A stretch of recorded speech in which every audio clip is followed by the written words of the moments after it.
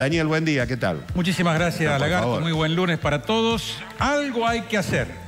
Buscan ejecutar construcciones sustentables en sierras chicas. Paredes de plástico con bastidores de madera, contenido de botellas prensadas. Iniciativas de sal si puedes, un quillo y agua de oro.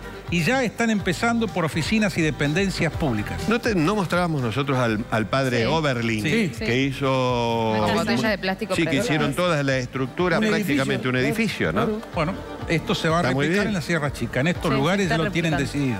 Pueden contratar la mano de obra del padre Oberlin con los chicos.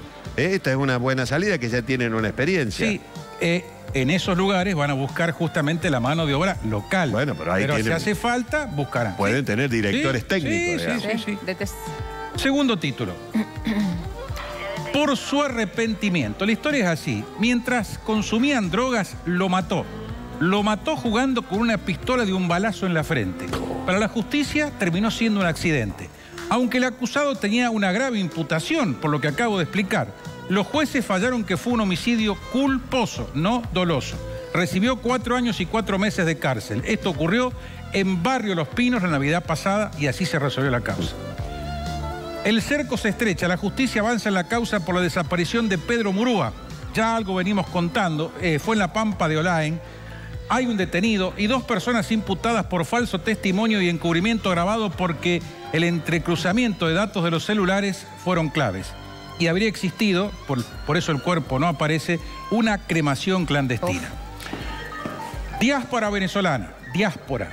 Crece la cantidad de inmigrantes que llegan a la Argentina por tierra y por mar. Comparando estos nueve meses del 2019 con los mismos del 2016, el ingreso terrestre creció un 531%. Por mar y río se duplicó. No logran salir la mayoría hoy por vía aérea. Otro título, avance controvertido. Un estudio indica que los implantes de chips cerebrales podrían funcionar para tratar las depresiones severas. Hay 28 casos comprobados en Gran Bretaña. Se utilizan cuando no dan resultado los fármacos, la psicoterapia ni las sesiones de electroshock. bueno. Sabemos que esto se aplica habitualmente, con lo poco que conoce, con el mal de Parkinson. Ah, claro, que Bueno. te ponen una, Un chip. un chip adentro, sí, sí, Sí, Bueno, ahora para estados Mirá vos. depresivos también han encontrado que funciona. Qué guau. De Nueva York a Sydney se hizo nomás el vuelo más largo sin escalas de la historia, 19 horas. La compañía australiana Qantas se propone evaluar la viabilidad del, eh, del trayecto. A bordo, en este viaje, hubo investigadores y observaron cómo durmieron y se alimentaron los pasajeros y controlaron el nivel de melatonina también. Advertencia. Muchos piensan que apenas asuma Alberto Fernández tendrán la heladera llena. Alfonso Palgay, expresidente del Banco Central de la República Argentina, vuelve a proponer hoy el acuerdo de precios y salarios. Reconoció que cuando gobernó Néstor Kirchner no tuvo injerencias ni presiones haciendo relación a lo que puede pasar con Alberto Fernández. Y por último, hay que volver al costillar. Ajá. Sí. Por primera vez, el precio vivo del capón superó al del novillo. La semana pasada, la categoría de cerdo ¿eh?